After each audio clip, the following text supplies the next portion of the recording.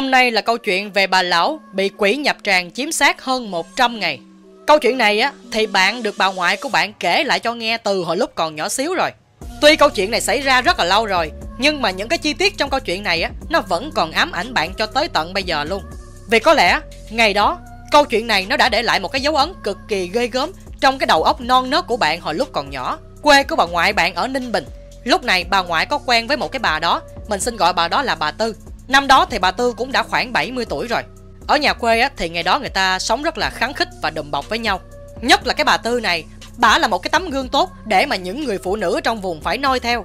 Tại vì cả cuộc đời của bà, từ hồi lúc bà còn nhỏ cho tới khi bà nhắm mắt lìa đời đó, thì bà luôn luôn sống vì mọi người. Nói chung thì những cái việc gì có thể giúp đỡ cho người khác á, thì bà đều làm. Và hầu như những người phụ nữ ở trong làng của bà cũng như là những người phụ nữ ở làng lân cận mỗi khi mà tới cái ngày sinh nở á, thì đều phải nhờ qua cái tay của bà Tư này. Lúc nhỏ thì cha mẹ của bà mất sớm, cho nên một mình bà phải nuôi một cái đàn em thơ dại cho tới tận năm 30 tuổi bà mới lấy chồng. Nhưng rồi khi bà lấy chồng á, bà lại làm vợ lẽ cho chồng của bà. Và gia đình chồng của bà cũng rất là hiếm hoi. Vậy mà sau khi mà lấy ông, được hai năm sau bà lại sinh cho ông một cái người con trai. Thành ra chồng bà cưng cái đứa con này như là trứng mỏng vậy đó. Cho tới khi cái anh con trai của bà lấy vợ. Lúc này thì bà mừng lắm. Bà cũng mong là cái đứa con dâu của mình nó sinh cho mình một cái đứa cháu nội thật là ngoan. Nhưng mà rồi, cũng vì một cái lời nguyền dai dẳng, Cái anh con trai của bà lấy vợ tới tận 16 năm sau Mới đẻ ra cái đứa con đầu lòng. Cái thằng cháu của bà năm đó mới 3 tuổi thôi. Ngày ngày, cái người mà tắm rửa, nuôi nấng cho nó cũng chính là bà. Nhưng mà rồi, cái ngày tuổi cao sức yếu của bà nó cũng phải tới. Có lẽ bà cũng đoán trước được á, Là cũng sắp tới cái ngày bà phải xa lìa mọi người, Xa lìa cái đứa cháu đích tôn của bà rồi. Không có ai thoát khỏi cái vòng sinh ly tử biệt hết, Và bà cũng vậy rồi cũng tới cái ngày Bà không thể nào gắn gượng lại được nữa. Bà đã bỏ ăn hơn 10 ngày rồi. Lúc này bà chỉ còn có thể nằm ở dưới giường, Rồi thấm môi vài giọt nước thôi. Cái đêm mà trước cái hôm bà mất đó, Thì tự nhiên ở đâu, Có một cái con chim lợn, Nó đậu ngoài cái hiên nhà, Nó cứ kêu rỉ rả ngoài trước vậy đó. Mà người nhà quê á, Người ta tin rằng Nếu mà con chim heo nó bay tới nhà nào nó kêu á, Thì y như nhà đó sẽ có người chết. Và đúng thật là cái hôm bà mất đó, Trời mưa tầm tã, Sấm chớp liên hồi luôn. Cái hôm đó không hiểu sao Giữa buổi trưa mà không có một cái tia nắng nào hết. Và đúng giờ ngọ thì bà đã trút hơi thở cuối cùng Trong cái sự tiếc thương của mọi người. Do là bà qua đời vì bệnh già. Ngày bình thường á, Cái dáng hình của bà đã gầy rồi. Nay thì nó còn lại khẳng khiu hơn nữa. Rồi thì bà con hàng xóm mới xúm lại Phụ một tay để làm cái hậu sự cho bà. Người thì lo đi chặt cây chuối Để dựng trước cái hòm á. Người thì lo đi luộc trứng để mà cúng cho bà. Hôm bà mất đó là bà mất vào ngày xấu Và mấy ngày sau cũng là ngày xấu luôn. Do đó thì người ta mới nói là không được để cái quan tài trong nhà quá lâu. Nhưng mà mọi người nói với nhau á Hồi lúc bà còn sống Bà cũng là người nhân đức Cho nên chắc là không có chuyện gì xảy ra đâu. Mọi người mới dự định á, là chôn bà vào ngày thứ ba. Những cái đêm đầu tiên của đám tang á, Thì nó diễn ra một cách bình thường. Nhưng mà cho tới cái đêm cuối cùng đó Thì có rất là nhiều chuyện kỳ lạ nó xảy ra. Lúc này á Thì bỗng nhiên cái tiếng chim heo nó vẫn kêu không dứt. Mặc dù cái nhà này đã có người mất rồi Mèo á thì nó cứ kêu gào suốt đêm. Ở ngoài cửa thì chó nó la ầm ĩ khắp xóm gì đó. Mặc dù không có ai bảo với ai hết, nhưng mà mọi người thầm nghĩ một điều, chắc là có cái chuyện gì đó không hay sắp sửa xảy ra rồi. Đêm đó thì có tới hơn một chục người thức để mà canh cái quan tài cho bà. Khi mà canh cái quan tài đó, thì cái nhóm thanh niên này mới tụm lại để mà kể chuyện ma. Còn những người già trong xóm á, cũng ngồi với nhau, bàn cái chuyện nước, chuyện này, chuyện kia. Và cách đó vài chục bước chân là cái quan tài của bà tư. Mọi người đang canh cái quan tài cho bà thì tới khoảng 3 giờ sáng đó, Bắt đầu cái chỗ quan tài của bà đó, Nó phát ra những cái tiếng động nhẹ. Mới đầu thì không có ai để ý đâu, Nhưng mà một hồi á, Cái tiếng động này nó càng rõ dần rõ dần. Mọi người mới thi nhau đoán coi là cái tiếng động này nó phát ra từ đâu. Người thì nói là chuột, Còn người thì nói là chó nó phá. Và tuyệt nhiên, không có ai dám khẳng định là cái tiếng đó nó phát ra từ cái chỗ quan tài của bà Tư hết. Tại vì ai cũng gán cố gắng, không tin cái điều đó là sự thật. Thì bỗng nhiên cái thằng cháu nội của bà Tư á, Nó đang ngủ, Cái nó bật dậy nó gọi bà nội nó nói là nó vừa nghe thấy bà nội nó kêu nó. Cho nên nó cứ nhìn chằm chằm vào cái hòm Nơi mà bà nội của nó đang nằm trong đó. Lúc này á thì mọi người không ai dám nói một tiếng nào nữa. Và chó thì nó cũng đã ngừng sủa Mèo nó cũng ngừng kêu gào rồi.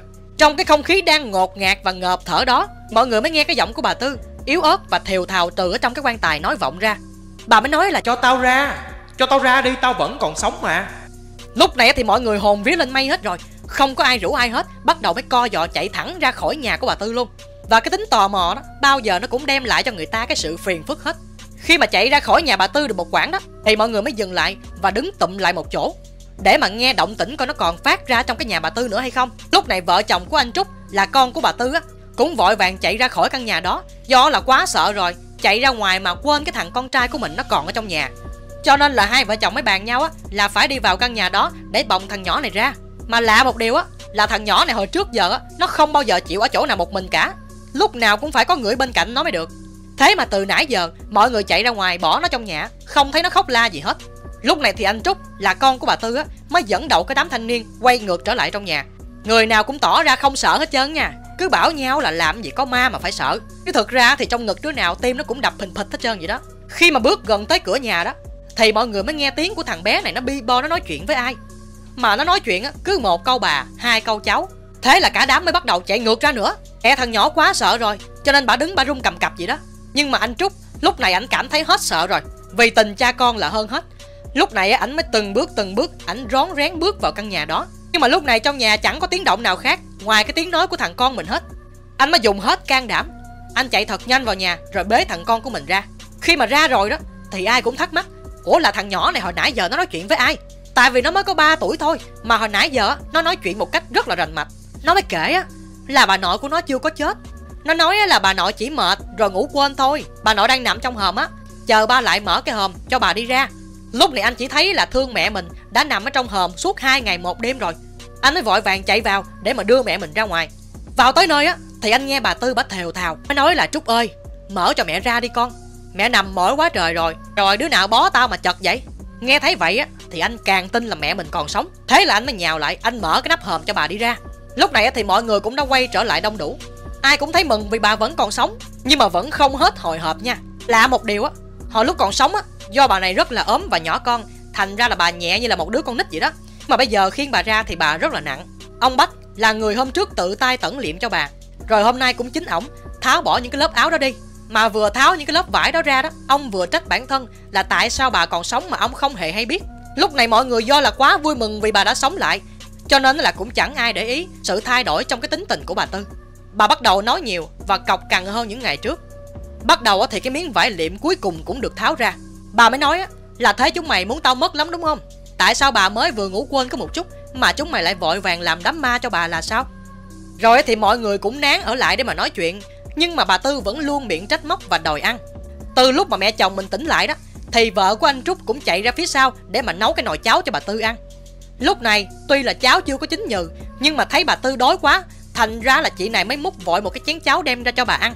Khi mà vừa thấy bát cháo, mắt của bà tư sáng rực lên, rồi bà mới vội chụp lấy cái chén cháo từ tay của con dâu mình. Bà mới đưa chén cháo lên, bà húp lấy húp để chỉ một hơi một thôi. Mặc dù cháo nóng muốn phỏng lửa luôn vậy đó, mà bà húp có một hơi một mà không có bị gì hết. Mọi người nghĩ chắc là do bà đã bỏ ăn 10 ngày trước rồi. Thành ra bây giờ bà đói như vậy là chuyện bình thường. Ăn xong rồi bà mới kêu con dâu của bà là phải xuống bếp lấy cháo lên nữa. Thành ra cái chị này bưng nguyên một cái nồi cháo lên nhà luôn. Trong lúc bà chờ con dâu bưng cái nồi cháo lên á, thì bà để ý thấy cái nải chuối để đầu hòm á. Bà mới kêu cái thằng kia đưa cái nải chuối cho bà. Do là chuối để dằn bụng người chết mà, người ta mới chặt còn xanh lè vậy đó. Bà cũng lặt từng trái bà ăn ngon lành luôn. À cái cách của bà ăn á là nuốt vội, chứ bà không có nhai. Tại vì cái tuổi của bà làm gì còn răng nữa mà nhai chơi với bà một lúc á, thì mọi người cũng bắt đầu bảo nhau đi về để cho bà nghỉ ngơi. Nhưng mà bà không muốn cho mọi người về, tại vì bà còn đang thích nói chuyện. Sau khi mà cái người cuối cùng rời khỏi nhà đó, cái miệng bà vẫn còn thao thao bất tuyệt. Bà ngồi hoài từ khuya cho tới 6 giờ sáng luôn á, bà mới ngáp dài, ngáp vắng rồi bà đi ngủ. Rồi anh trúc á, mới dìu mẹ mình vào phòng, rồi mới cùng với vợ dọn dẹp cái đám ma cho bà. Còn cái hòm á, thì cũng đem dẹp trong một cái góc nhà luôn, tại vì trước sau thì cũng phải xài thôi. Do là hồi đó người ta quan niệm á là tích trữ áo quan sẵn ở trong nhà tới lúc mà nhà có người mất á, thì có cái để dùng. Cả ngày hôm sau á, thì bà tư bà ngủ ly bì. Anh trúc có vào gọi mẹ dậy đi ăn mấy lần á, mà bà cũng không có lay động nữa. Do đó ảnh mới thỉnh thoảng á, ảnh sờ tay của bà tư, coi bà tư còn sống hay không. Bà vẫn yếu ớt, và cái hơi thở bà thỉnh thoảng vẫn bị đứt quãng. Thằng con của anh á, nó cứ luôn miệng đòi bà nội nó ẩm không à. Nhưng mà bà ngủ từ hồi tối hôm qua tới giờ bà chưa thức nữa, lấy đâu mà ẩm. Cho tới 6 giờ chiều luôn á, thì bà mới bắt đầu bà cựa quậy thức dậy. Câu đầu tiên á, là bà kêu đói câu thứ hai á, là bà trách thằng cháu nội của bà là tại sao không để cho bà ngủ. Con dâu của bà có nấu sẵn một nồi cháo, rồi mới đưa lên mời mẹ ăn. Cũng y chang như tối hôm qua, bà không cần chờ cái chén cháo nguội, bà đưa lên miệng bà húp một hơi luôn. Chị định nấu cái nồi cháo này cho bà ăn cả ngày. Nhưng mà mới nấu xong bà ăn hết trơn nồi cháo rồi, còn đâu nữa mà ăn. Ăn xong, bà mới lấy cái nón lá bà đội lên đầu, rồi bà đi ra khỏi nhà. Mà cái dáng đi của bà lúc này á, bà đi thoăn thoắt. Không có giống như cái tướng đi của một người già bảy mấy, tám mươi tuổi. À nhất là một cái bà già vừa trải qua một cái cơn thập tử nhất sinh nữa. Bà Tư đi ra ngoài tới đầu ngõ đó, Thì bà mới gặp bà con lối xóm. Ai nấy gặp bà cũng đều chúc mừng bà, Vì bà mới vừa thoát cơn thập tử nhất sinh. Nhưng mà đáp lại cái sự chân tình của mọi người đó, Là một cái thái độ khinh khỉnh của bà. Lúc này bà không có còn dễ thương như hồi trước nữa. Lúc này chẳng nói chẳng rằng, Bà mới lườm lườm nhìn người ta vậy nè, Làm cho ai nấy cũng ngạc nhiên Và một chút sợ hãi. Xong rồi bà mới tiếp tục qua nhà của ông Bách. Cái ông này là cái ông mà liệm cho bà hồi hôm trước đó. Qua tới nhà ổng á Thì bà bươi móc cái chuyện là ổng bó cái xác của bà chật quá thì cái bà vợ của ông Bách á luôn miệng xin lỗi bà về cái điều sơ suất này rồi mới mời bà Tư vào nhà uống nước. Vô nhà ngồi chơi á thì cái thằng cháu của bà Bách á nó đang cầm củ khoai lang nó ăn trên tay vậy nè. Bà Tư bà chẳng nói chẳng rằng bà mày nhào tới bà giành lấy củ khoai lang của thằng nhỏ luôn. Rồi bà nuốt vô họng một hơi vậy đó. Thằng bé này nó mới sợ quá, nó khóc ré lên. Cho nên là bà Bách bà không hiểu chuyện gì mà thằng cháu của bà nó lại khóc như vậy. Cho tới trời sụp tối rồi á thì những con gà mà bà Bách bà nuôi trong chuồng á, nó cũng bắt đầu về chuồng. Ngồi nói chuyện với bà Bách được một chút á, thì bà Tư này bà đi về. Lúc này khi mà đi ngang qua chuồng gà đó, Thì bà Tư bà liếc mắt nhìn vô cái chuồng gà, Giống như là bà đang toan tính cái điều gì đó. Lúc này thì anh Trúc, con của bà ở nhà chờ cơm, Mà chẳng thấy bà về. Sốt ruột quá, Thành ra anh mới chạy ra ngoài ngõ để mà ngóng coi bà có về chưa. Trời đã tối hẳn rồi, Anh mới thấy tự ngoài đầu ngõ đó, Có một cái bóng dáng ai đó đang đi rất là nhanh, Đi vào hướng nhà của mình. Trong chốc lát thôi, Thì cái người đó đã gần tới anh rồi.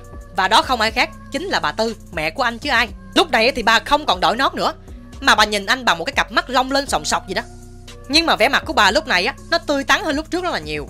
Bà mới chạy vào nhà, Ngồi xuống mâm cơm. Bà ăn liền mấy chén cơm luôn, Bà cứ lựa những món bà thích bà ăn thôi. Bà nhào lên mâm cơm bà ăn, Trong khi hai đứa con của bà chưa kịp rửa tay lên ăn cơm nữa. Thì lúc mà hai vợ chồng anh Trúc vừa rửa tay chuẩn bị lên ăn cơm đó, Thấy trong nồi cơm á, Chỉ còn lại vài miếng cơm cháy dưới đít nồi thôi. Còn thức ăn thì cũng gần hết rồi. Còn có le ngoe mấy cọng rau à? Còn bà Tư á, Bà đang nhảy lên đầu giường bà uống nước trà trên đó. Rồi bà đưa cái nước trà vô họng á, Bà khò khò giống như là đang xúc miệng vậy đó. Lúc này thấy mẹ mình lạ quá. Anh Trúc anh cũng sợ rồi nhưng mà anh không có dám nói ra. Ở nhà quê á, Thường người ta ngủ rất là sớm, Ăn cơm xong là chuẩn bị lên ngủ rồi. Hôm đó ăn cơm xong á, lên giường nằm rất là lâu. Nhưng mà anh Trúc á, Anh vẫn còn thấy bà Tư á, Bà ngồi xổm ở trên cái giường á, Mà bà uống nước trà, bà nói chuyện một mình à. Mà cái câu chuyện của bà nói á, Nó chẳng đâu vào đâu hết á, Bà đang nói xàm. Sáng hôm sau, Anh Trúc anh dậy để mà đi ra đồng đó. Thì anh thấy mẹ của anh đang nằm thiêm thiếp trên giường á. Anh mới đinh ninh á, Chắc là do mẹ mình tối hôm qua thức khuya quá, cho nên sáng hôm nay mới mệt mỏi vậy thôi. Lúc này bà Tư cũng như ngày hôm qua, Bà cứ nằm lả trên giường á, Một chút nước thôi bà cũng không uống nổi nữa. Mà lạ đó là ở cái làng này xưa tới giờ Không bao giờ có cái chuyện trộm cắp. Thế mà hôm nay, nhà bà Bách á Lại mất một con gà mái. Chiều tối đêm đó, Anh Trúc đi làm về thì chẳng thấy mẹ của mình đâu. Hỏi vợ á Thì vợ anh nói là mẹ mới ăn xong cái nồi khoai luộc Rồi đội nón đi đâu mất tiêu rồi. Chị còn nói á, là hôm nay không hiểu sao Mẹ bắt thằng con của mình ra ngoài hè Rồi mẹ lấy chổi á, đập túi bụi vô mình của nó luôn. Tại vì cái tội á, là nó cứ đòi bà ẩm nó không à. Chị cũng xót con lắm Nhưng mà chị không có dám nói gì Sợ mẹ mình không vui. Cứ ban ngày á Thì bà nằm thêm thiếp như là con cá nằm trên cạn vậy đó. Còn mỗi khi mà mặt trời vừa khuất dạng thôi Là bà lại đội nón Bà đi ra khỏi nhà Mà đi đâu á thì không ai biết. Hàng xóm láng giềng á Thấy tính tình của bà ngày càng thay đổi. Dần dần thì ai cũng sợ Và ngại gặp bà hết. Mỗi khi bà gặp bà này từ xa đó Là người ta tìm mọi cách để mà tránh mặt bà này. Nhưng mà tránh không có được, Tại vì bà này á đi rất là nhanh, Chỉ thoáng một chút thôi là đã thấy bà đi kế bên cạnh mình rồi đó. Mỗi khi gặp ai á, bà này gầm gừ, Bà nói chuyện không có rõ ràng, Bà nói chuyện không có câu nào nghe được hết á. Cái câu nào mà nghe được á Thì chỉ toàn nghe là chữ nuốt với lại bóp chết không à.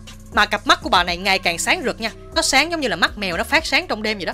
Và từ đó, cái xóm này lại liên tục bị mất gà Lúc đó thì người ta nghi là trong xóm này có cáo. Mà lạ, thường là gà mái khi mà bị bắt á, tụi nó sẽ kêu lên rất là lớn. Nhưng mà những lần này á, tụi nó mất trong cái sự im lặng, thành ra chủ nhà không ai biết hết. Cứ mỗi sáng mà đi ngang cái gốc tre đầu sớm á, thấy có một mớ lông gà đó, thì chắc chắn là hôm qua đã có con gà bị mất trộm rồi. Lúc này thì cả xóm hoang mang lắm, quyết tâm là phải rình cho được cái con cáo này. Trong lúc này á, thì nhà của anh trúc lại liên tiếp xảy ra những cái chuyện kỳ lạ. Bà tư lúc này á, da dẻ bả ngày càng hồng hào và trẻ ra.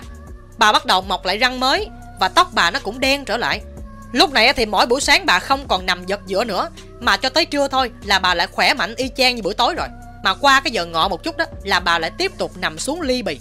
Cái thằng cháu nội của bà đó, Ngày xưa bà thương nó bao nhiêu, Bây giờ bà ghét nó bấy nhiêu. Thể bà không thấy mặt nó nha, Mà cứ thấy mặt nó trong nhà là bà lôi thằng nhỏ ra đánh.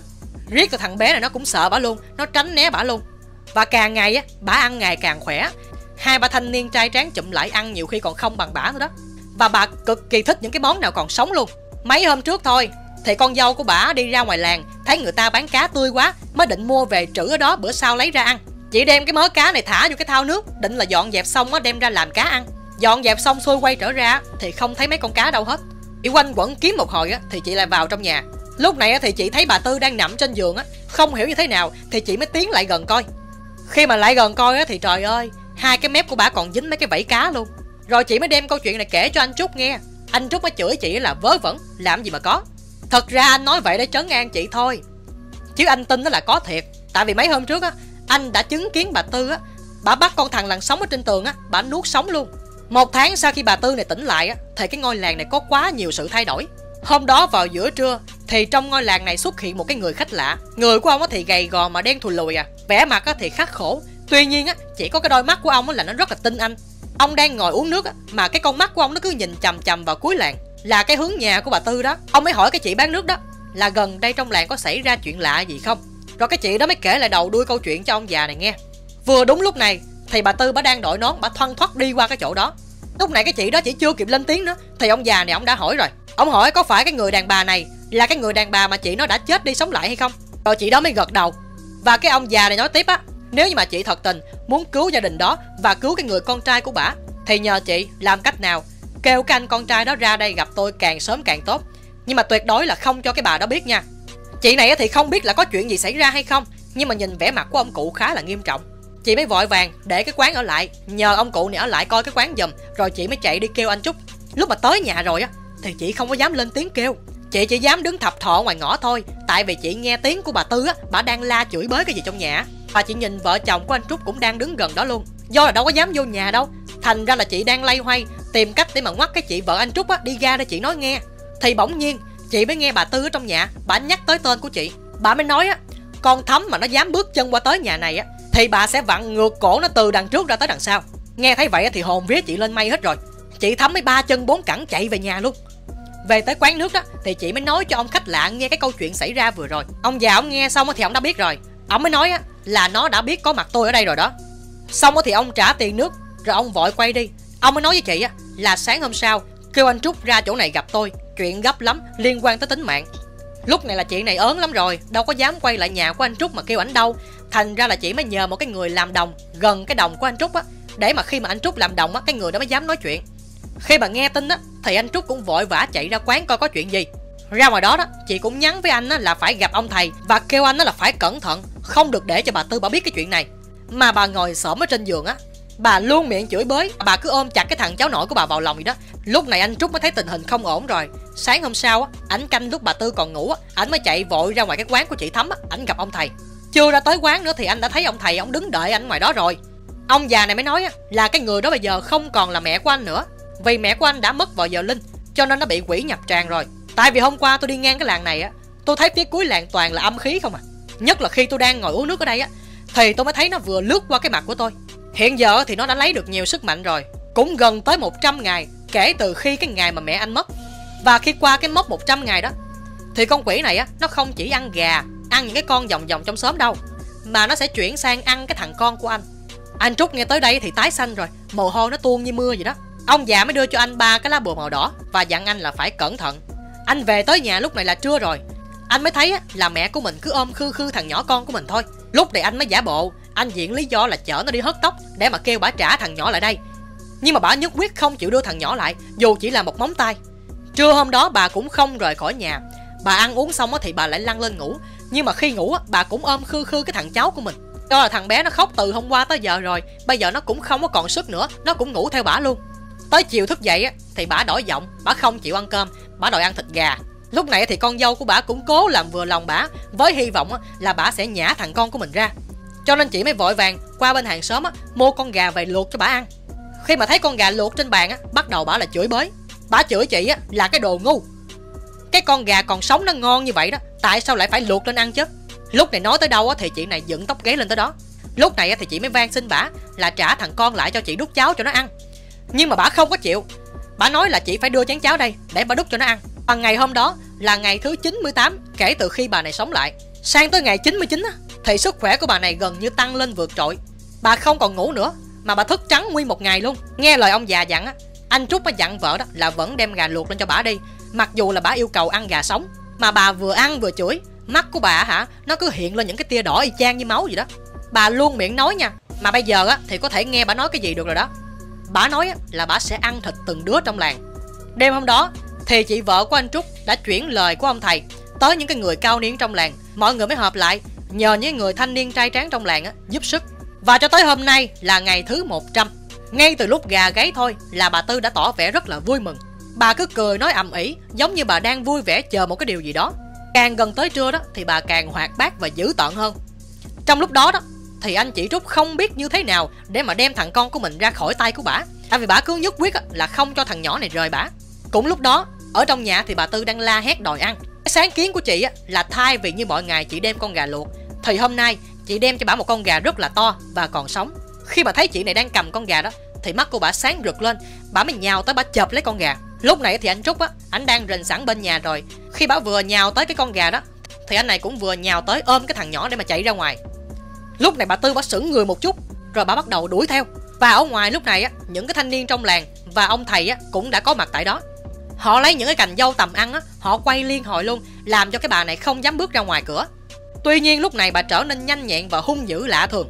Bà mới nhảy tới nhảy lui trong nhà đó, mà cái chân không chạm đất luôn. Lúc đó thì ông thầy ông bước vào nhà, trên tay của ông cầm một cái nhành dương liễu và một cái bình nước thánh.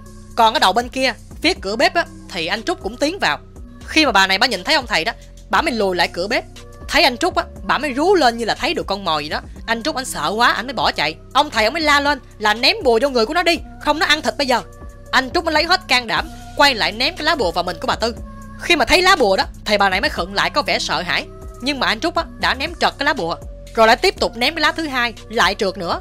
Lúc này thì bà tư với anh trúc á, chỉ cách nhau khoảng vài gang tay thôi. Giữa cái lúc mà sinh tử cận kề đó, thì anh mới nhắm mắt, anh quăng đại cái lá bùa thứ ba vào mình của nó luôn. Đúng là ở hiền gặp lành, cái lá bùa này nó trúng ngay ngực của bà tư luôn và khi đó, hình dáng của bà tư bắt đầu thay đổi. Không còn một chút nào là vóc dáng của bà tư trước đó nữa. Còn hai con mắt của bà, nó đỏ ngầu à mà nó muốn lòi ra khỏi cái hốc mắt gì đó. Miệng thì nó cứ ngoác ngoác ra, nhìn thấy cả cái hàm răng trắng phếu gì đó. Khi mà cái lá bùa chạm vào người nó rồi đó, nó mới ngã vật ra đất. Lúc này á, thì mọi người trong xóm mới kéo vào chật kín cái nhà luôn. Và bây giờ, dưới đất chỉ còn là một cái thi thể thối rữa thôi nó không còn một cái bộ phận nào gọi là nguyên vẹn cả. Và ngay cả khuôn mặt á, cũng không còn nhận dạng ra được nữa. Và thầy nói, đây mới là cái thi thể thật sự của bà tư nè. Tại vì bà đã mất hơn 100 ngày rồi, và cũng ngay lúc đó, anh trúc đã đem cái thi thể của bà tư chôn trong chính cái hòm mà cách đây 3 tháng bà tư đã từng nằm trong đó. Và bạn nói câu chuyện này á, nó xảy ra cách đây khoảng hơn một thế kỷ rồi. Tuy là câu chuyện xảy ra lâu như vậy, nhưng mà nó vẫn ám ảnh bạn cho tới tận bây giờ luôn còn các bạn thấy câu chuyện này như thế nào? Có thể để lại bình luận bên dưới cho mọi người cùng biết với nha. Bye bye. Nếu như mà đã xem tới đây rồi á, thì đừng quên cho Duy một like và một subscribe nha mọi người. Bye bye.